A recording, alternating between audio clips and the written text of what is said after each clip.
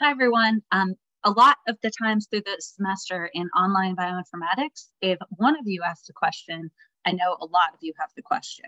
Um, so for this first week, I wanted to give you a quick video to show you how to take files that you've created on Posit Cloud and get them down onto your laptop so that you can submit them on Canvas.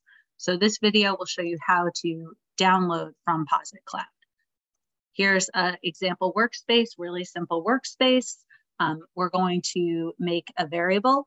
So I'm just gonna call the variable A um, and have it just be a list of numbers. Just a couple of uh, random numbers in there.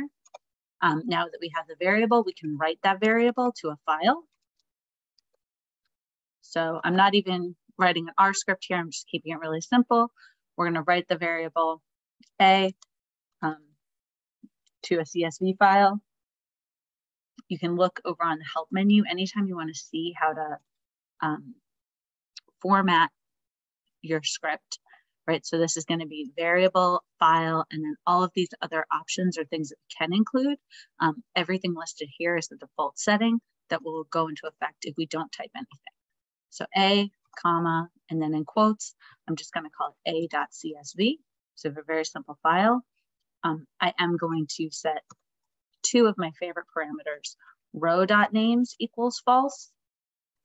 Um, because if you want to open it in Excel, it will look a little weird if it has those row names and um, quote equals false.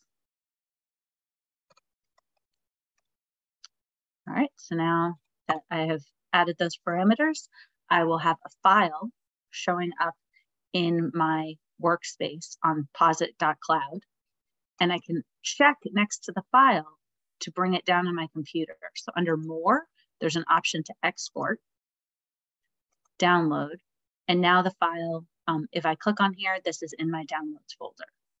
So that's everything you need to get started with working on Posit Cloud, creating CSV files, and then pulling them down to your laptop so that you can submit them on Canvas. Throughout the semester, let me know if you have any questions, and I'll try to do this and answer those questions with a video.